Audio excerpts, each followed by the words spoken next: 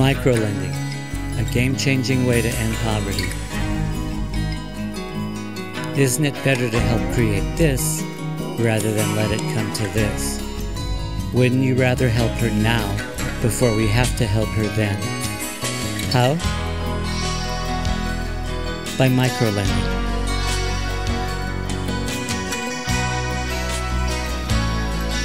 At kiva.org, you can lend someone $25 to develop their own small business.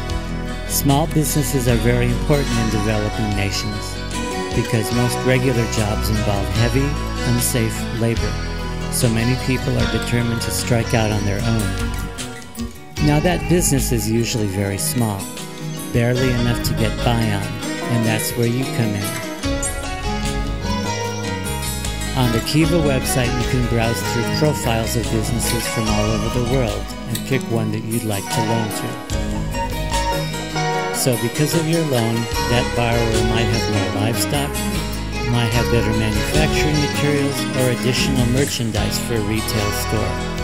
But one thing is certain, you've made their future more secure. What you've done is more than give somebody money. You've shown that you believe in their business, you have confidence in their plans, and you expect them to do well. Visit kiva.org to learn more.